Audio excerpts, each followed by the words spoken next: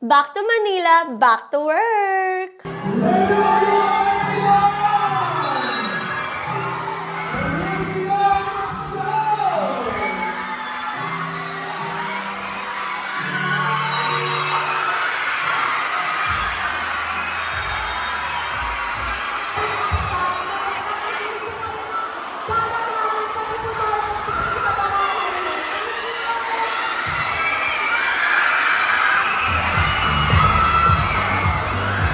Nag-boot kami ng fab sa mga barangay na gustong makita ako. Ako kasi yung pinaka-in-demand sa Toro family, kaya ako yung nandun.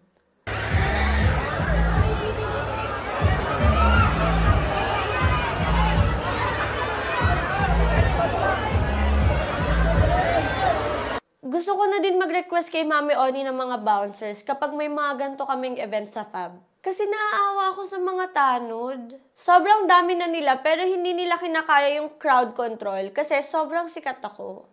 Lahat gusto magpa-picture. Yung iba naman nakatitig, ini-enjoy nila yung view. Oy, hindi yan libre ah. Bumili kayo ng fab products.